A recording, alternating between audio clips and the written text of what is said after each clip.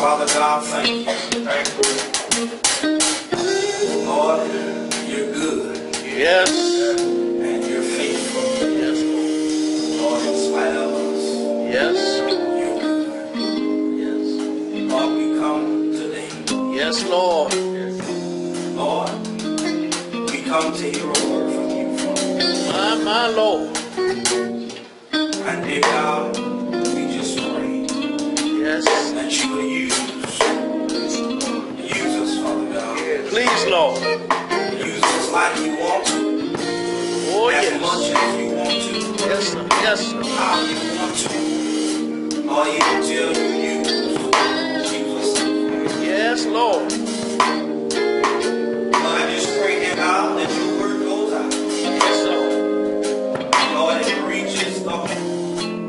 Yes, such a way, Lord, so that our lives are better. Please, Jesus. That our thoughts are better. Yes. Lord, that our homes are better. Yes. That our communities Or better. Yes. And Lord, that everything, Lord, that comes in our midst, Yes, Lord. God, gets better. Yes. Lord, we know, dear God, that you are God and you are God. Yes, Lord. Lord, we trust you right now Please, Jesus. And abundantly above all that we can even ask or think. Yes, Lord. Have thine own way, Father God. Please, Lord. Lord, there be some lost soul in this place today, Father, My, my, my. save them today. Please, Lord. Help them to receive the gift of salvation. Oh, God. yes.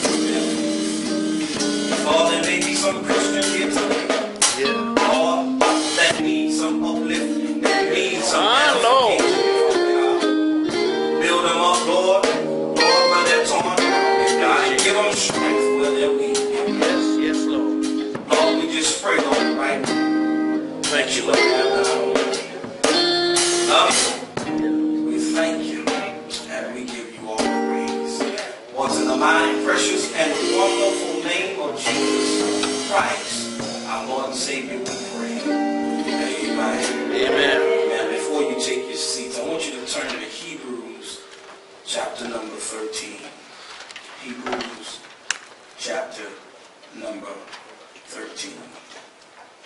Hebrews chapter number 13, chapter 13, verse number 5. Hebrews chapter number 13, verse number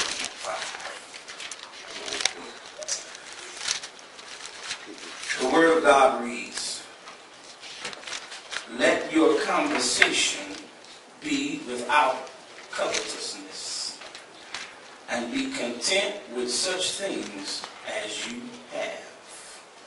For he had said, I will never leave thee nor forsake thee. If you will, I want you to turn to your neighbor, only if you will. And I want you to share with them these words. Neighbor, Neighbor. oh neighbor, Oh, neighbor. if you aren't already, If you aren't already, I just want to encourage you I just want to encourage you to be satisfied in to be Jesus. satisfied in Jesus. Amen. You may be seated.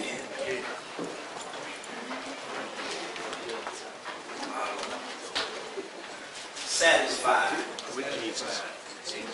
in Jesus. Help me, Holy Spirit. All right.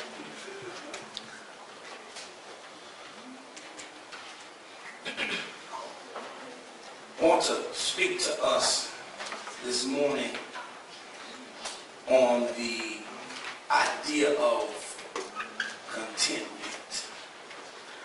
How many of you know that a thankful heart will be content? Mm-hmm. When we look at Hebrews 13 and 5, the Hebrew writer is seeking to share with the people to understand that they must walk in contentment knowing that God is who he is. Amen. Well, we've been talking about Thanksgiving. And one thing I want to leave us with is this, is that thankfulness stems from or comes from thoughtfulness. Mm-hmm. Where you going with this, preacher? In Psalms 97 and 12, it says this, Rejoice in the Lord, ye righteous, and give thanks at the remembrance of his holiness. Mm-hmm. See, when you think about who God is, and also think about how he's come through for you, it ought to cause you to give thanks.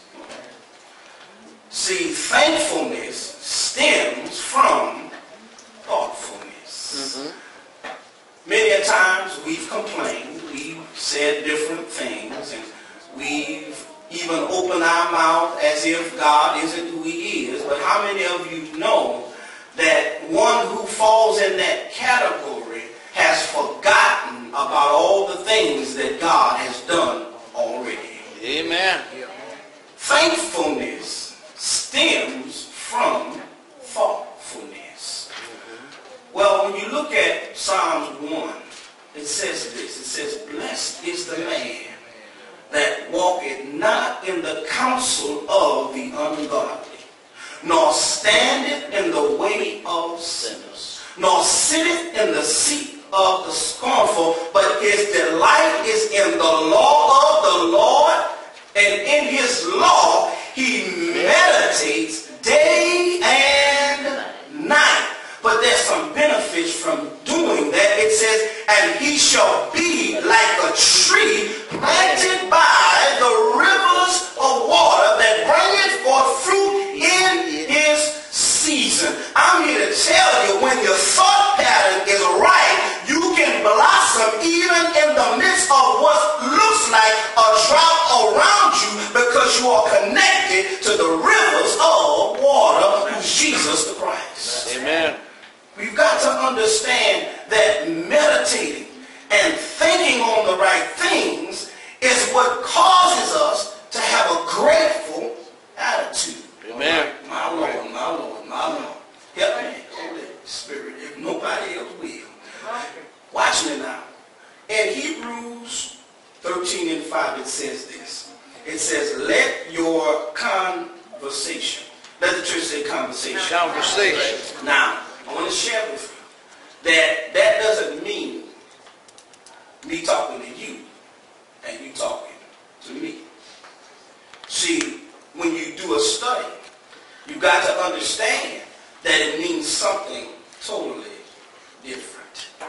That conversation there does not mean a talk with somebody. It means your conduct. Mm-hmm. The way you carry yourself. So, if you will, I'm going to read it as such. Let your conduct be without covetousness. So that means that the Hebrew writer is getting us to understand that we ought to behave in a certain manner. Okay? I, I, I pray I bless you.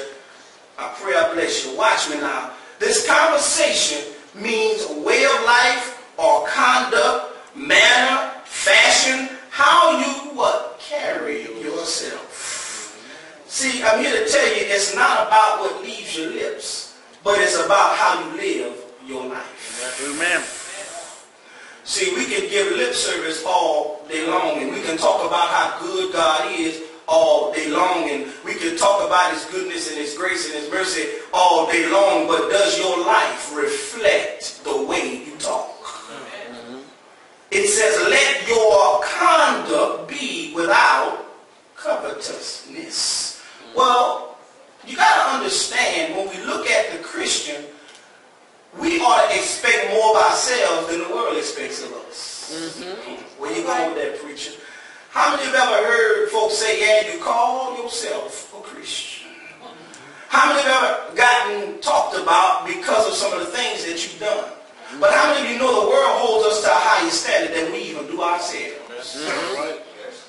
And that's a travesty because I'm here to tell you what we're doing is we're allowing grace to abound because we'll make the statement, God loves me, he knows my heart, and guess what? His grace shall take care of me. But you got to understand this one thing. A heart that's, that does not seek to please God, mm, I'm questioned to see where your heart really and truthfully is. All right now.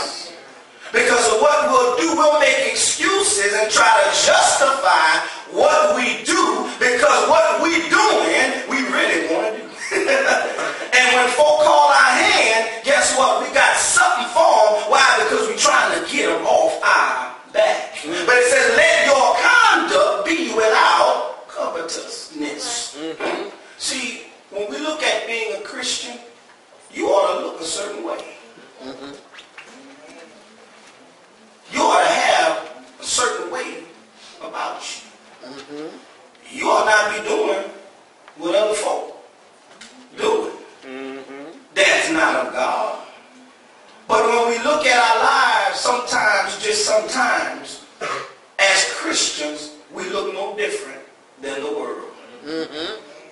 don't talk about God, and when we do, it's uh, Lord, thank you for getting me out of this mess that I just got myself in. But we never talk up God. We always talk of other stuff, other folk, ourselves, and everything else. But at the same time, we got to understand that our lives ought to look a certain way. It reminds me of an oxymoron. Now, many people might listen to the word and say, oh, that's an insult. No. What an oxymoron is, is that you're saying two opposite things in the same sentence referring to one main or particular idea.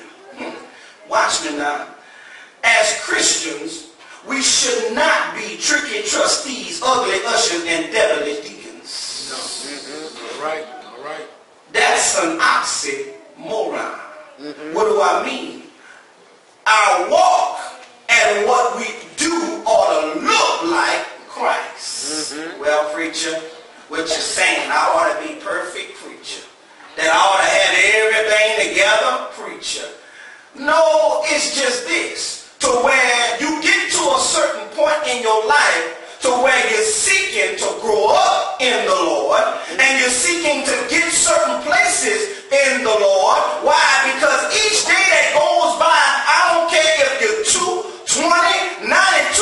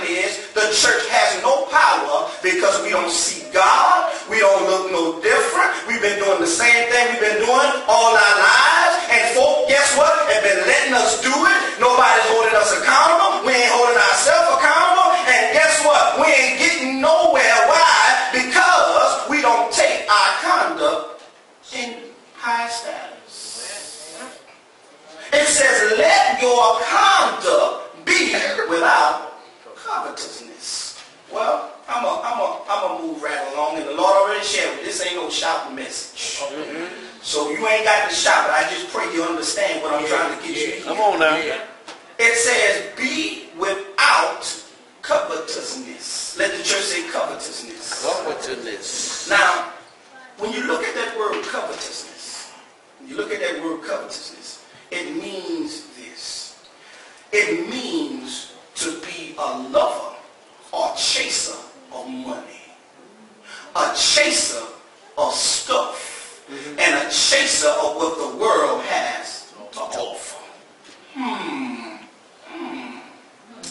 it, it, it, it, it means this, this big old word avaricious and this is what it means having or showing an extreme greed for wealth or material gain now now now preacher now you talking about being satisfied in jesus where you going with this follow me i'm driving just follow me i promise you that i'm going to take you somewhere it says be without covetousness well, how many of you know that as believers, we can run the risk of falling to where we seek stuff and stuff becomes our pursuit and stuff becomes our God.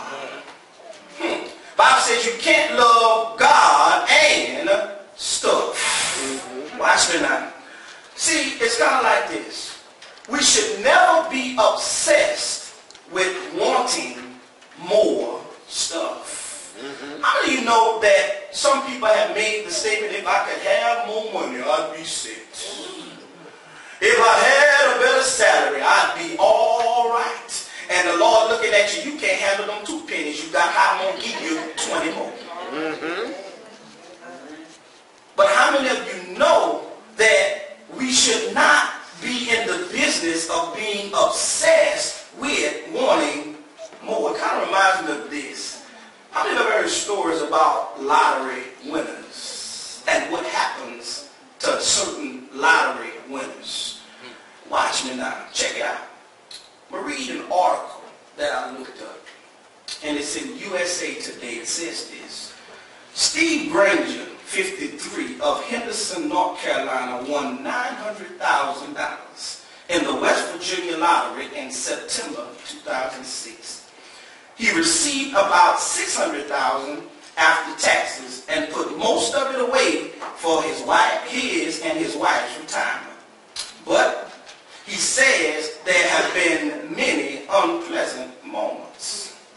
All of a sudden, everybody knows your business. Mm-hmm. Everybody knows what you have. Mm-hmm. At a party, Granger heard someone say in an ugly tone, there go those lottery people. And as he passed, and he and his wife passed by, and the man he hardly knew asked him to invest in a gold mine. he said, I went through a phase where everybody was grabbing me thinking I was going to give them luck. Watch. Now here's another family. Portland, the Portland Press Herald of the Associated Press. Patricia and Aaron Wales won a share of 294.8 million, a Powerball lottery in 2001. Within days of winning a $41 million share of a Powerball jackpot in 2001, Patricia and Erwin Wales of Boston, Maine were sued by co-workers who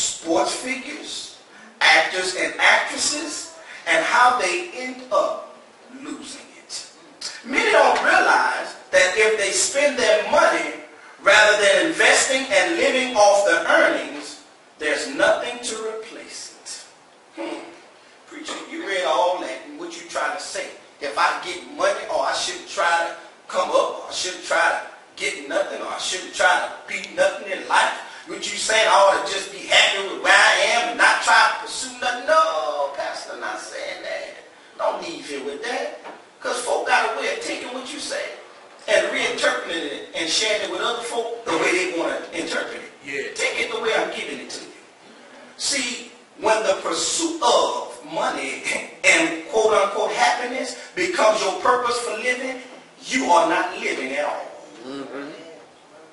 Now, if I am a believer in Jesus the Christ, I must understand that even in my pursuits, that what I pursue, I'm seeking to please God with all that I get.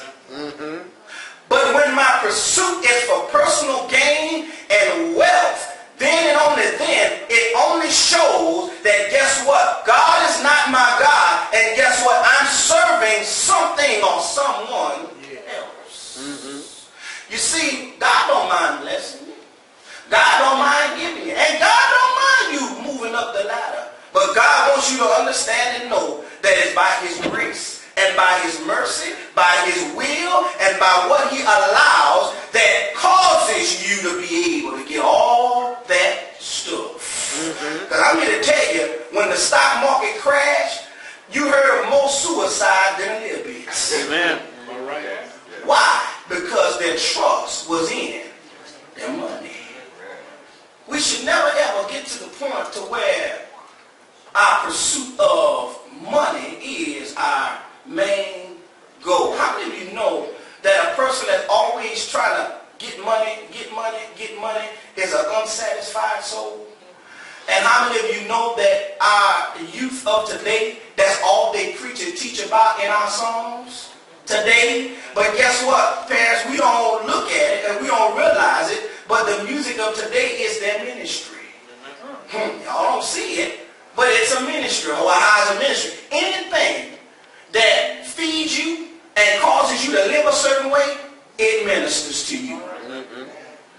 And when we look at our self-centered world, and we look at our world of trying to get cribs and cash and all these cars, and guess what? How many of you know that some folks, some folks, not everybody, that when they get a little something in their pocket and they drive a certain kind of car, or they live at a certain address, or they have a certain amount of money in their bank account, yeah, their little neck start to rise a little bit higher. Like they're better than somebody else. All right. But how many of you know that some of us got to remember from whence we came? Mm-hmm. right. the cotton fields, eating cornbread and milk. Mm. Heard a man yesterday, he said, I thank the Lord for his grace and his mercy. Because I remember back in the day when we used to go out and we picked that cotton, we had three meals. Cornmeal, oatmeal, and no meal at all.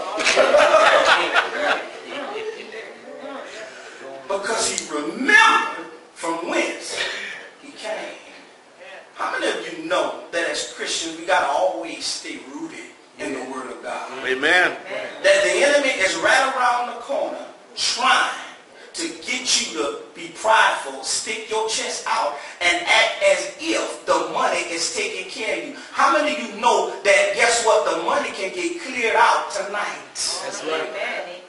without you even knowing it. Amen. How many ever heard of identity theft? Mm -hmm. And guess what? You have no control over it. But at the same time, you got to understand that it's God that blesses us with what we have. How dare I, how dare we look at other folk as if they haven't arrived because they don't live at our address or because they don't drive what we drive Amen. Right?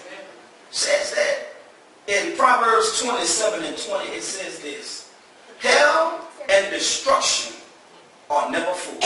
Mm-hmm. So the eyes of man are never satisfied. Mm-hmm. Ecclesiastes 5 and 10 says this. He who loves silver will not be satisfied with silver, nor he who loves abundance with increase. This also is vanity. Mm-hmm. And how many of you know the wisest man that ever lived and walked the earth besides Jesus the Christ, who's Solomon, in Ecclesiastes realized that all the stuff that he had done was all vanity. Because he realized that gaining all that stuff didn't make him more better. How many of you know it really messed him and jacked him up with all the wives and mistresses and other wives? Yes. Yes. Mm-hmm. How many of you know that the devil will tempt us? The more we get, that's the more temptation we'll have. Mm-hmm. Come in now. How many of you know? Now, how, now, now, I don't want to say, I don't, I want y'all to think I'm talking about nobody. I'm just talking about what I'm talking about. Black Friday just passed. And don't it don't fit everybody's bill, but I know it fits some. You got folk in the store, can't afford none of what they buying. Oh. Buying on credit, trying to get stuff, accumulating, acquire stuff just to say they got it. But at the same time, can't keep up with their light bill. Something wrong with that. Amen. Something wrong with that.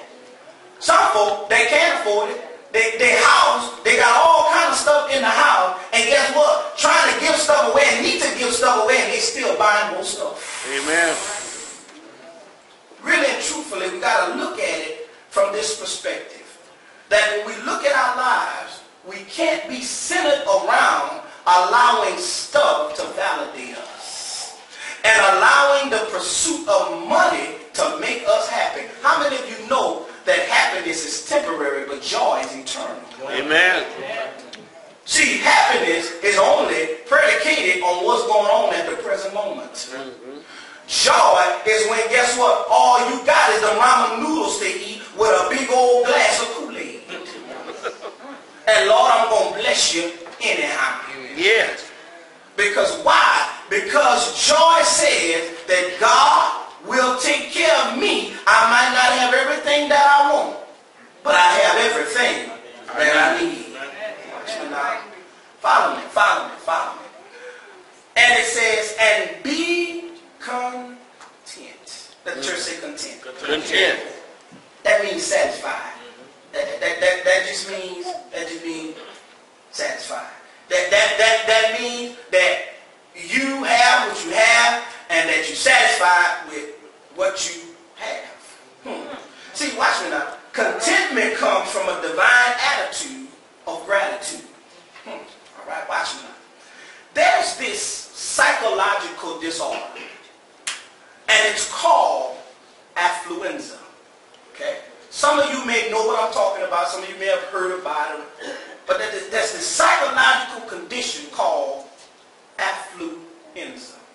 Now, when we look at that affluenza, really and truthfully, I have another name for it, but I cannot to share it. But it's this. It's a psychological condition supposedly affecting wealthy young people, symptoms of which include lack of motivation, feelings of guilt, and a sense of isolation. Here's another definition. Extreme materialism, which is the impetus for or the driving force for accumulating wealth and for overconsumption of good. How many of you, yeah, then went to that buffet and know you eat more than what you need to eat? And they gonna unbuckle your buckle and say, yeah, I think I ate too much. For real? Really? My Lord. How many of us can say the Lord bless us with just a little bit extra and by the time we got it, it was gone. And we could have used it for something more productive. Mm.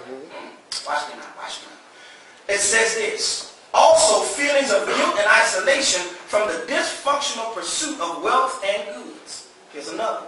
Social condition that affects a society because of the elevated number of individuals striving to be wealthy.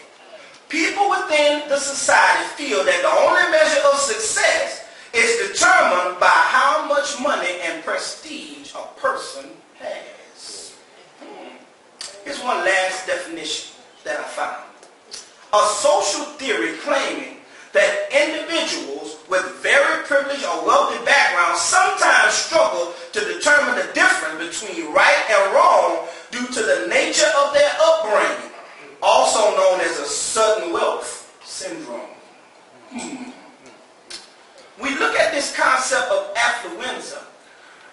All it means is this, is that I got what I got, but I want more. I have what I have, but I want more. I got all the stuff that I need, but I want more. But at the same time, how many of you know that we can get to the point to where wanting more gets us to the point to where we're not satisfied? Hmm. I heard it time after time after time after time after time again. The pursuit of money and the, the, the, the pursuit of trying to get things have broken up homes. I heard it time after time after time again. The pursuit of getting wealth and the pursuit of trying to come up has caused people to commit crimes. Mm-hmm. How many of you know that the love of money, not money itself, money is good. Yeah. But the love of money is the root of all kinds of evil. Folk will kill you for your money. Folk will cheat you out of your money. Folk will try to manipulate you out of your money. Why? Because we love money. And I'm talking about society as a whole. Let's be real. And let's, let's, let's just be real. Coming up, what were you told was success? Boy, sure, good job. Nice house. Nice car. Then you got it. You just made it. See, you got to understand, ain't about all that stuff. Because when we allow stuff to validate us, then what it does is it gets us to the point to where now mm, it's the stuff that's driving me to do. But you see, how many of you know that the Lord wants us to be ministry minded? How many of you know that Jesus Christ said himself that birds have nests and foxes have holes, but the Son of Man have nowhere to lay his head. See, you got to understand, Jesus Christ, we talk about, I want to be like Christ. No, we don't want to be like Christ. Because see, Christ traveled preaching the gospel. Christ traveled meeting needs. Christ traveled looking for opportunities to be a blessing to folk. We don't want to be like Christ. Because see, we wanted to be like Christ, our spiritual eyes would open and we quit being selfish and we start doing more stuff for other folk. But when we get caught up in doing me, doing me, doing me, young folk, you can relate, I'm going to do me and you do you. Yeah, y'all know, uh-huh. yeah, yeah, yeah, yeah. They know what I'm talking about. Because see, you, you got you got to understand that that's how, that's, that's where we at now. But at the same time, God's word never changed. Never change. Mm-hmm. God's word is still the same, and all I'm saying is this, that our priorities need to get right. Mm-hmm. Watch me now. Look what it says here. It says, and those who are Christ have crucified the flesh with its desires and passions. That's Galatians 5 and 24. How many of you know that contentment only comes from a divine attitude of gratitude? You can't be content in and of yourself. Mm-hmm.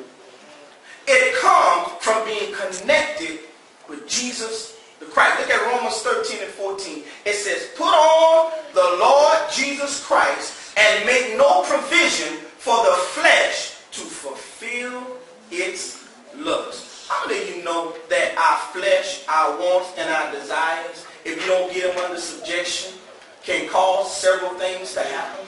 Mm-hmm. Yeah. Now watch me. Now I'm about to say something, and I pray you, I pray you take it out of the spirit which I'm giving. See, how many of you know we praying for folk who won't listen to the doctor? Mm-hmm. No. Mm-hmm. All right. Watch me now. Help me with this. We're praying for folk who won't eat right. They won't exercise. And all they're doing is consuming, consuming, consuming. And yet at the same time, the doc saying, cut back on your salt. They still consuming. Cut back on your sugar. They still consuming. You need to cut back on it. Still consuming. How many of you know that this flesh is never satisfied? Because we want what we want and we're going to get what we want at any cost, even if it kills us. Now, I know that wasn't going to go over real well, mm. but I know I'm right. Mm-hmm. And people of God, we got to quit praying for financial blessing and knowing that we jacking up our finances. Want God to bless what we're doing, but we won't budget. We won't restructure what we're doing, and we won't discipline ourselves to get right. But we praying for God to come through on our behalf. Help me out with that. Come on now. Want God to heal us, want God to fix it all, but we won't even rearrange our lifestyle so that we can live a healthy life. Mm-hmm. How many of you know that many times we just want God to bless our mess? Mm-hmm. That's what it is. Ooh, Jesus. But I'm going to preach it anyway. because you got to understand that how many of you know that you play a part in God's blessings in your life to the point to where the Bible says faith without works Is is dead. I want my marriage to get better and I'm still cussing and fussing and fighting and doing all kind of stuff. No, that ain't gonna cut it. Yeah. I want my, my want my home to be at peace. But yet when you come in, you're like, your head spinning around like an. Something wrong. But what this flesh, this flesh just want what? Want what it want. I want what I want. I'm gonna get what I want. I'm gonna get my weight. I'm gonna get what I want in my body. I want what I want. I want what I want. I want what I want. How many of you know that's how addictions come about? Because why? That which we are addicted to pleases our flesh. Mm-hmm. But how many of you know it's only but for the moment? Little while.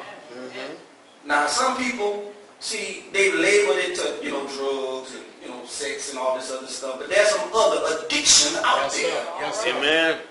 See, we put those on the side, say, yeah, we put those, and we put them other ones, you know, them, them, them heavy hitters, yeah, in the front. Girl, you, you heard about what they had done? Yeah, yeah but, uh, yeah, you, we don't know your issue.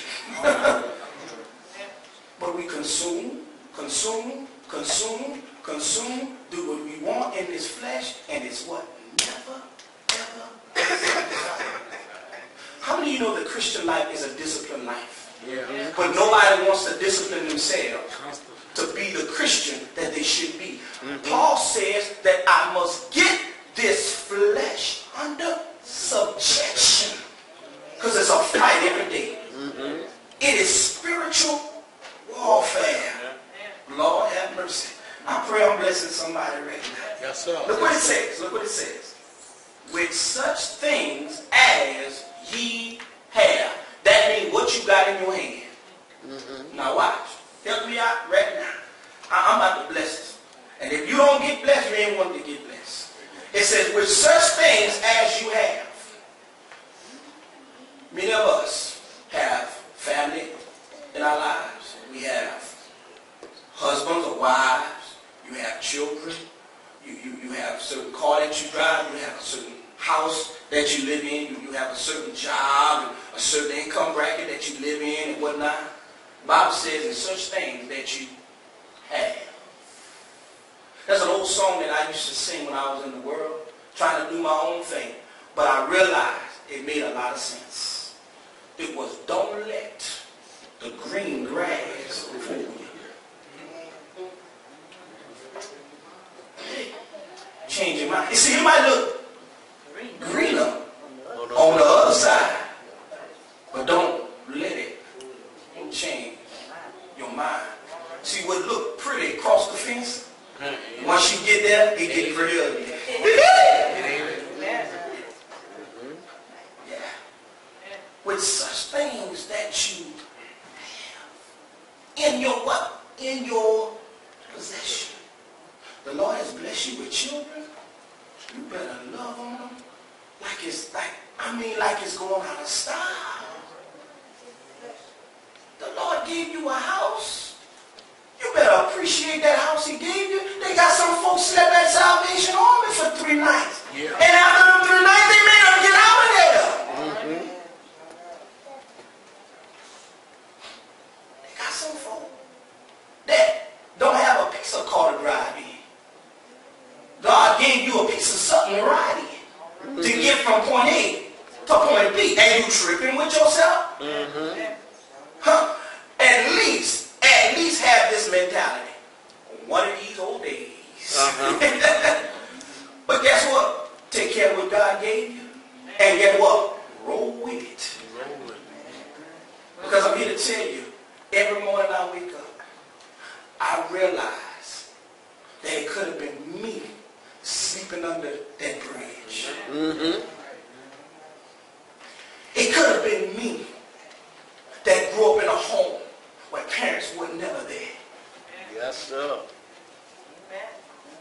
It could have been me who was abused as a youth. It could have been me. I'm thankful for what I have. Thank you. Amen. Yes, sir. Because many folk complain about stuff that they don't have, never had, and may never have, and miss out on the joy of what's in their hand. Yeah. Amen. Jesus, Jesus, Jesus. Watch me now. See, don't spend time worrying about what you never had. Thank God for what you already have. Watch. See, how many of you remember the, the rapper Big Small? Oh, oh, y'all remember Big, you know, Big, yeah, Big, yeah, yeah. Some of y'all remember Biggie, some of y'all don't. But Biggie Smalls was a rapper. And I'm here to tell you, I watched Biggie. And Biggie wasn't as hardcore as he was trying to be after looking at his interview. But he came up hard, came up in the hood, he came up, you know, a hard life. But I, Biggie said one thing, and I realized in one line. He said, man, more money, more problems. Like, wow. Wow. More money, more. I know some folk that drove a hoopty for 10 years. And the Lord blessed them with a brand new ride and wouldn't let nobody get close to it. We being raised in church. Now you worried about somebody scratching your stuff. You could paint that ride. See, that's not the point. I work hard for what I got. I'm saying you, you could replace that. More money, more problems. well, Pastor, you, you know, never pursue nothing. I ain't saying that. All I'm saying is, when you get to the point to where your stuff has more prevalence over you, then you have just qualified for being covetous. More stuff. My stuff, my stuff, my stuff, my stuff, my stuff. But at the same time, you got to understand this one thing. In Philippians 4, 11 and 12, it says this. Not that I speak in regard to need. Paul is saying, ain't like I want for nothing. He said, for I have learned in whatever state I am Whatever. to be Content. content. Yeah. I know how to be abased. That means humble, low, not have nothing. And I know how to abound. Everywhere and in all things I've learned both to be full and to be hungry, both both to abound and to suffer need. Paul just saying that get what? I done been to where I had stuff, and I done been where I had nothing. And whatever state I'm in, I'm gonna be all right. Yeah. Wow. Hmm. See, we got to be content with whatever God has blessed us with. Amen. If he put it in your hand, appreciate it. If he gave it to you, guess what? Cherish it.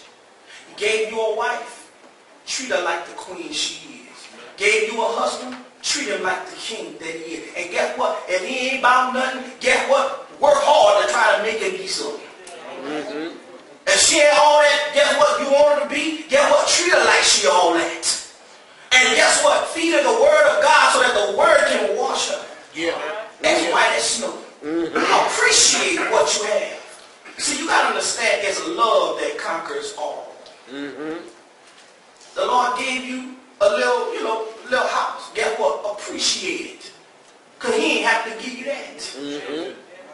They got some folk, how many of you know that some folk wish they had half of the stuff that we have? Amen. Half. Not all. Half. Half. I'm about to say something. I pray that I don't offend anybody, but it's just the truth. And I'm going to say it in a way to where you're going to know what I'm talking about. There's this ethnic group. So when they come here, they'll live 20 in a house. And they'll all come up together. And everybody get their little change. And they'll work and work and work and work till one can make it out. They'll work and work till the other one make it out. And they have all their food together. They have all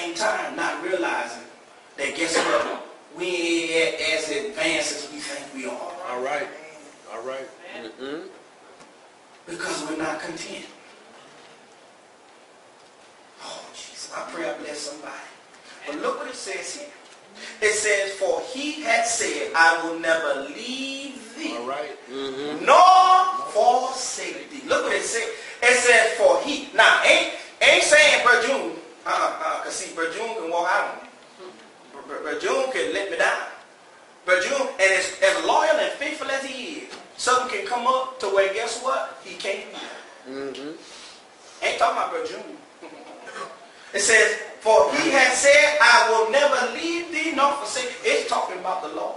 Mm-hmm. And I'm here to tell you, when you got the Lord on, on your side, you got something. Amen. Because when you call everybody and nobody answers the phone, he right there. Amen. And you can talk to him. Look what it said. This word leave just means to quit. Kind of reminds me of, kind of reminds me of marriage. See, there comes a point when some folks say, well, I quit. I don't want this no more. I ain't doing this no more. I quit. I can't take it no more. Now, what they can't take, if you ask them what it is they can't take, you'll realize they ain't about nothing. ain't much of nothing. You know what it is? They can't take not getting their way mm-hmm. in most cases. But this, this, this, this leave here just means to quit. To kind of give up on. To kind of say, okay, you no longer exist. Not to try to what? Fight for. But it says this. It says that he will never what? Leave thee. God ain't going to quit you. Because my Bible says that he who the Lord, who he who the Lord has in his hand, no one can what? Pluck out. Nothing can separate us from the love of God. I'm here to tell you that's a reason to be content. To where if you have or you don't have, God got you. Watch me now. I want you to understand. Look what it said. Nor forsake thee.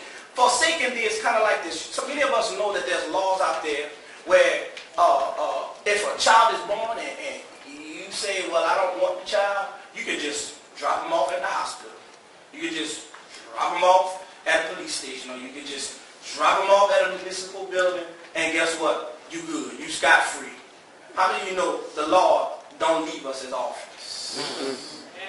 The Lord don't just leave us and drop us off and say, you know what, I can't take care of it. Because how many of you know that we serve a God that owns cattle on a thousand hills? Mm-hmm. And anything that you seek and anything that you desire, anything you want, he can do exceedingly and abundantly above all that you can even ask or think. Mm-hmm. He got what you need plus some more. And I'm here to tell you, some of us have really walked into God's blessing and know and have experienced that guess what? God has been good to you. Amen. And that God has gone beyond what it is that you're asking for. And he showed you that, guess what? I want to bless you, but I just want you to understand and know that it's me you ought to trust. Amen. Hmm. My Lord. I want, you, I, want, I want you to understand this. You can stand boldly on the promise of God's provision. Mm-hmm. You can stand boldly on the promise of God's provision. What do I mean? See, you can stand boldly on that promise. See, people of God, here's what I want us to do and I want us to understand. When you, when you talk about your faith and what you believe in, don't just quote anything. Don't just don't just be on a whim and, and you know listen to some of these preachers throw some stuff out. But the Bible says he will never leave me nor forsake me. Guess what? I can stand on that. Mm-hmm. That's something I can stand on. And I can stand boldly on it because I know he got my back and he won't abandon me, he won't quit me, and he won't give me up for adoption. Mm-hmm. Matter of fact, he adopted me when nobody else wanted me. oh, yeah. so we've got to understand that we can stand boldly on the promises of God's provision. Well, it's, it's, it's, it's, it's kind of like this. It's kind of like this. You could, you could stand boldly on the promise of God's provision. How many of you that God is there, was there, and will always be there? I heard a story about a, a young a young boy, and every morning he wake up, he watch the news, and you know he watch the news like, okay, wow, okay, and he would go out and play on the yard, and he would come back home at the end of the day and say, Mom, I don't what it is, but they got this dude following me. I, I just can't pinpoint who he is, he's following me. Get up the next morning. Mom said, boy, look, calm down. You know, we, we going to see who it is. She called the school authority. My son said somebody following this, and that. So got up, watched the news, watched, watched what's going on. Went to school the next day. Came back home the next day. Man, Mom, I'm telling you. Mom, this dude is following me. And then, Mom like, what is wrong with this boy? This boy done lost his mind. So what she did was she took him to school. And what happened was the little boy was walking to class. And the all of a sudden said, look, he right there. What the little boy didn't realize on a bright sunny day, he gonna see his shadow. and anytime you have the sunshine, you gonna have your shadow. How, what I'm trying to say, anytime you have the S-O-N, Jesus the Christ,